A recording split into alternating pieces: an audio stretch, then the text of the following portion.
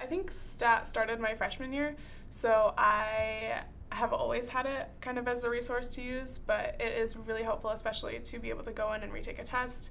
Um, so we don't have to come in before or after school because I play sports and I have a zero hour uh, jazz band class. So the before and after school is already taken up for me, so it's really nice to have that option. If you didn't have time to study or like you just didn't do well on the test, you can go in after school or during stat and retake it. You have to do like work on the test, make sure you study, do all your work, get all that done. Sometimes you have to get like your parent's signature and like get all do all the problems that you got wrong on the test. But this year I've been taking harder classes and one of my most challenging classes pre-calc so during stat I go in a lot to get help on just things I don't understand or retake tests and get caught up on homework because it's just like a extra time that I can get the help I need that I can't like ask questions in class or something. I can ask them during stat. I am all for the retake policy. However, I'm going to college next year, so it's going to be a big change. However, I believe some students learn slower than, than others. And I know some students do take this for granted at White High School. Oh, I have a retake, so I can just do better on that one. However, um, some kids need a retake in order to learn a concept. Um, I want to say twice as better, if that makes sense. Like you learn it the first time, and like okay, but if you take the time to learn it a second time, um, it's shown in like AP Psychology I took this year that if you learn it more ways than once, you'll learn it better.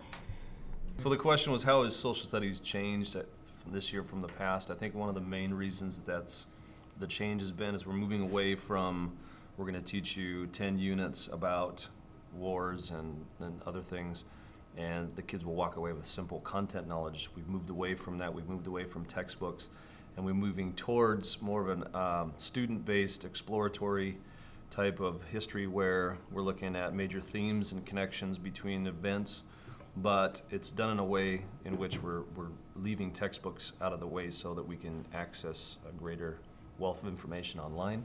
The amazing thing about White River is that kids are in touch with computers almost on a daily basis, and um, they uh, are getting, um, I guess, more literate with these devices so that when they graduate and they enter the workforce or secondary education, they are able right away to step in and feel comfortable in the situation they're in. Um, and I think um, Nate hit it right on the head where um, really them guiding themselves through technology and experiencing more source analysis and things with through um, these devices um, rather than just looking at a book and trying to pull out information is, is a key um, poignant part of what White River is doing right now. One of the unique things about the White River High School journey is that we had an opportunity three years ago to adopt a new curriculum.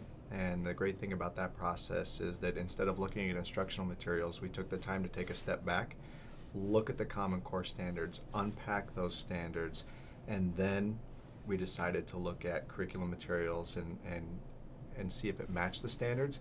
And we realized very soon that there wasn't a printed curriculum that was a direct tie to the Common Core standards. So we ordered laptop carts for every single one of our social studies department and began the work of creating the curriculum. Part of that, of course, is the assessments.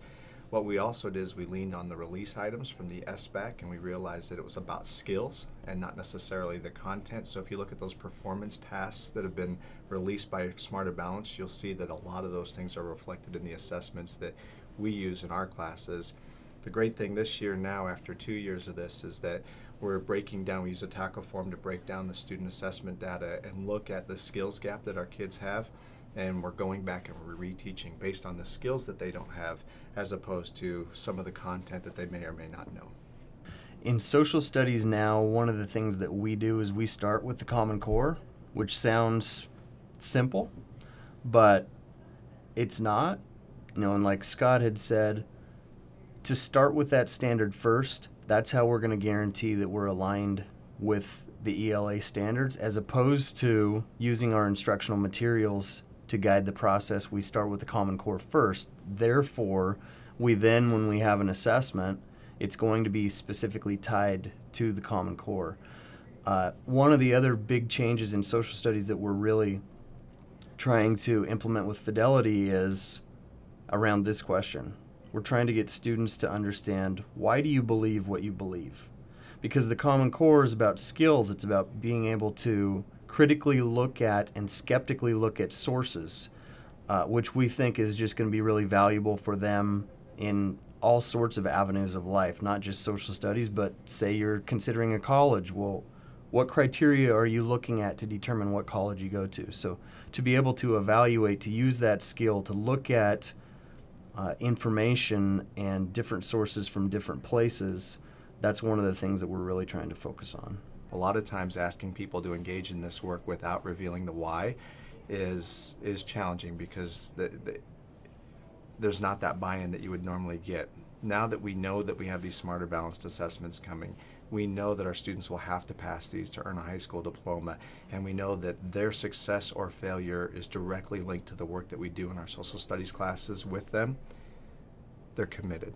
They realize that they're they're like all teachers. They're in it for kids. They love serving kids, and so that's been the big the big source of pride for me is they've engaged in this work, but they've done it for all the right reasons. And I'm excited as we transition to the new assessments. I think it's going to pay off.